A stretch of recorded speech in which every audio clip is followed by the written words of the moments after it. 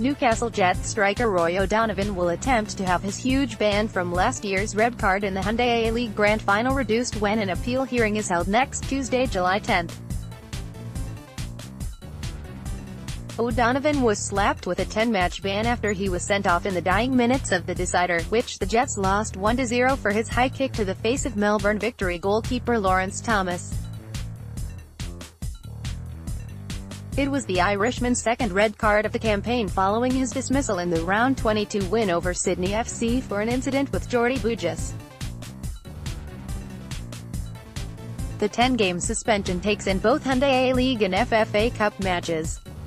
A statement released by the FFA on Monday said, the Independent Appeal Committee hearing relates to an appeal by O'Donovan from the determination of the Independent Disciplinary and Ethics Committee regarding an incident involving O'Donovan which occurred in or around the 93rd minute of the Hyundai A-League 2018 Grand Final between Newcastle Jets and Melbourne Victory on Saturday 5 May 2018.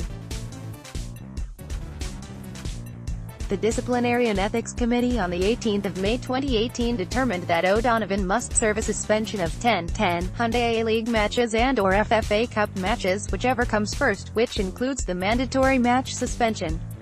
The hearing will take place at FFA headquarters, commencing at 5.30 p.m. AEST.